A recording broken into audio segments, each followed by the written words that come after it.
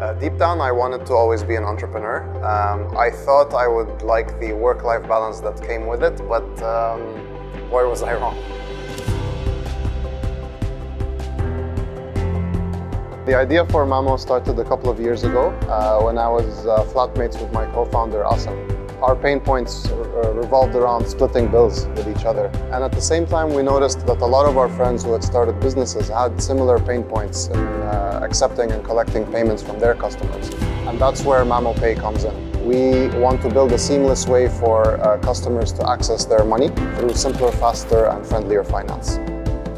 In the UAE two and a half years ago when we began, the government has been very forward-thinking and adaptive, and regulation has actually come a very long way since we started. As of today, we feel that the UAE is one of the most prime places to start a business.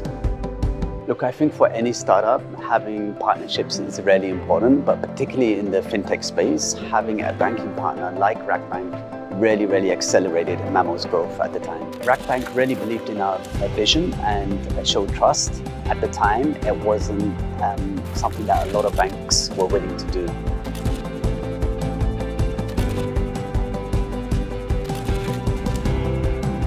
I think the vision for Mamo is to build a fintech, but while we do it, um, is to build a fantastic team um, of individuals that get us there.